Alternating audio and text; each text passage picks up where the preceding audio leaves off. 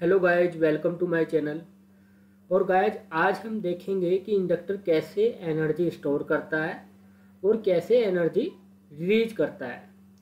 तो आप ये सर्किट देख रहे हो, ये एक बैटरी है, ये एक स्विच है और ये इंडक्टर है, ये एक रेजिस्टेंस और ये भी एक रेजिस्टेंस है। तो ये स्विच अभी यहाँ पर कनेक्ट है तो इसमें आप देख सकते हो कोई करंट फ्लो नहीं हो रही है और ये बैटरी से डिस्कनेक्ट है। क्योंकि ये इधर से ही कनेक्ट है और इधर से कनेक्ट नहीं है। जब ये इधर कनेक्ट हो जाएगा तो इसमें ये सर्किट पूरा हो जाएगा और इसमें करंट फ्लो होगी। ठीक है? तो इन, जब मैं इसको स्विच को इधर करूँगा तो इसमें ऐसे करंट फ्लो होगी और इंडक्टर एनर्जी स्टोर करेगा। ठीक है? और करंट भी लगातार फ्लो होती रहेगी। और जब मैं स्विच को फिर दोबारा इधर करूँगा तो इसमें फिर ऐसे करंट फ्लो होगी।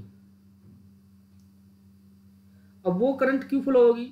क्योंकि इसमें तो इधर तो बैटरी नहीं लगी हुई है बैटरी इधर लगी हुई है बैटरी का डिस्कनेक्ट हो गया सर्किट तो इसमें फिर करंट क्यों फ्लो होगी ये?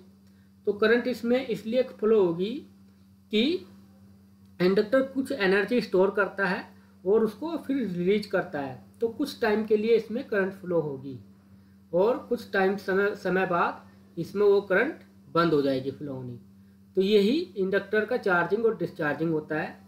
इंडक्टर हमेशा कोई भी हो, चाहे रिले हो, जैसे कि रिले में आपने देखा होगा उसकी उस पर स्पाइक बनती है जब उसको ड्राइव करने वाला मोसपेट या ट्रांजिस्टर ऑफ़ होता है।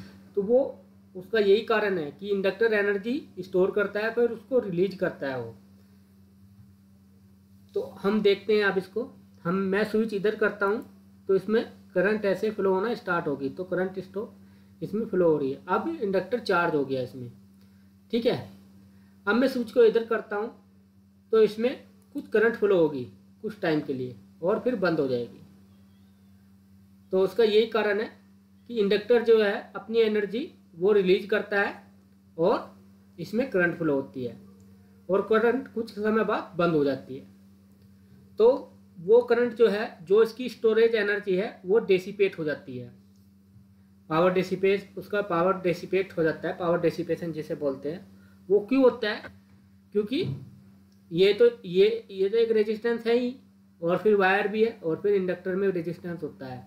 अगर मैं आपको बोलूँ कि इस रेजिस्टेंस को अगर मैं हटा दूँ, और इसमें ये ऐसे सर्किट फिर ये यहाँ से सर्किट पूरा कर दूँ, और फिर इसको स्विच को ऑन करूँ, तब भी इसमें करंट फ्लो होगी। और इसमें जो स्टोरेज करंट है, वो डेसीपेट हो जाती है, वो क्यों होती है? क्योंकि सर्किट में रेजिस्टेंस है। अगर सर्किट में रेजिस्टेंस ना हो और इंडक्टर प्योर आइडल हो तो वो एनर्जी कभी भी आपकी डेसीपेट नहीं होने की, कभी भी ख़त्म नहीं होने की और वो ऐसे ही फ्लो होती रहेगी। और वो ऐसा नहीं हो सकता क्योंकि कोई भी कंपोनेंट आइडियल नहीं होता। कोई भी कंपोनेंट आइडियल नहीं होता, ये केवल इमेजिनेशन है।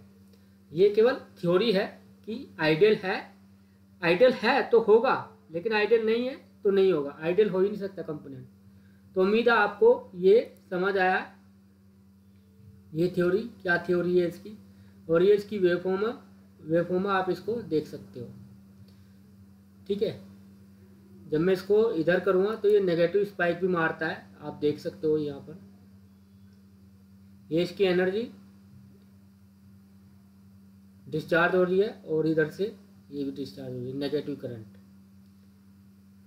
तो उम्मीद है आपको समझ आया होगा। और अगर वीडियो अच्छी लगी हो, कुछ समझ आया हो तो वीडियो को लाइक कीजिए, सब्सक्राइब कीजिए, आने वाली वीडियो का नोटिफिकेशन पाने के लिए बेल आइकन को प्रेस कीजिए। थैंक यू यही इंडक्टर का प्रैक्टिकल भी यही इसी तरह होता है, हम करते हैं।